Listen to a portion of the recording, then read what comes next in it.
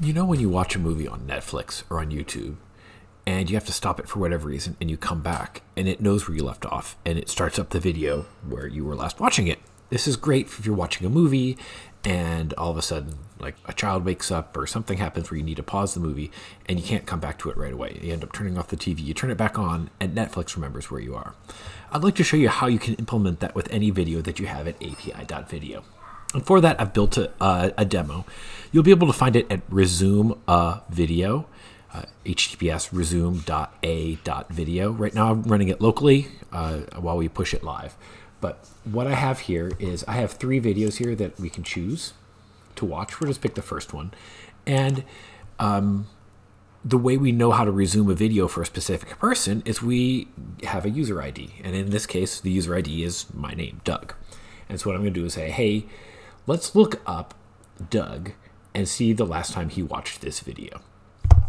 And so what happens when I click that link is we'll just open up the code here really quickly. We'll go to the Java, the, the Node backend. And on the Node backend, we're going to say we're going to authenticate ourselves to get a, the API token.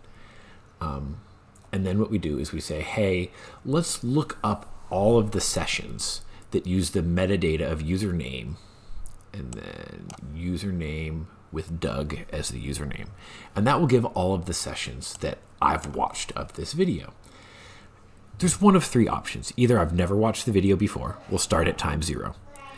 Um, you can see I'm requesting just one entry. If there's one entry, we'll start there. If there's more than one entry, it will tell me what the last one is. So I can make a second request and say, give me the last session that occurred. I can get the last session that occurred, and from that, I will get a session ID. With that session ID, I can now look up that session.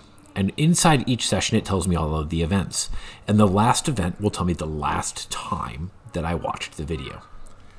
And from that, then I can build a URL that says, hey, watch this video. The video ID describes the distinct video.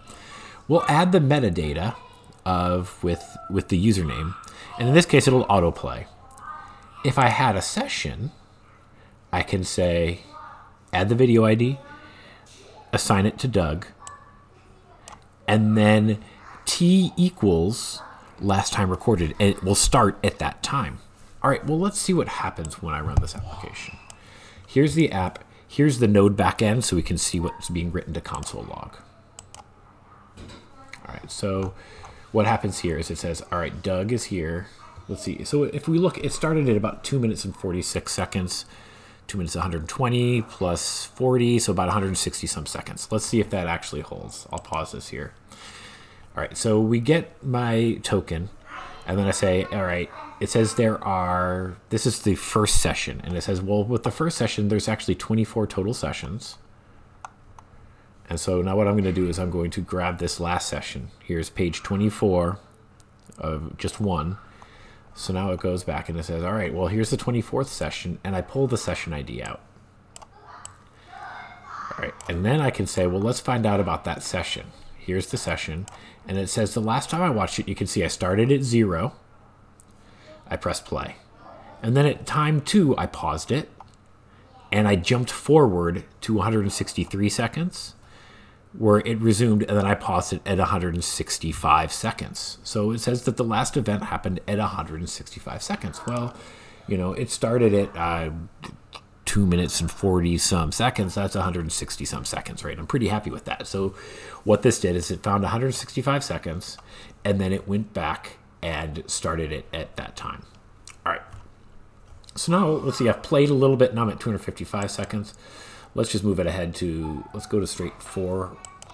That'll be 240 seconds, right? If I pause and unpause it. Now, if I refresh the page, the last session is now this session. And the last thing that happened is I paused it at 241 seconds. So if I refresh the page, it'll make all the sim queries again. And you can see the last event was at 241 seconds, and now the video is starting at 241 seconds super cool. So now we've got this app that will, if you have authentication and you can identify each user, you can apply the username as dynamic metadata. And with dynamic metadata, each session is then assigned specifically to that user. And then you can grab the last session of that user, find the last time they interacted with the page, reload it, and start them off right where they watched the video. So feel free to check out the demo. It's at resume.a.video. Uh, the code is up on GitHub, and there's a blog post at api.video that describes how we built it if you want to read more. So thank you so much for watching. Come back to a.video regularly to find new demos on how we've implemented cool features with api.video. Thanks for watching.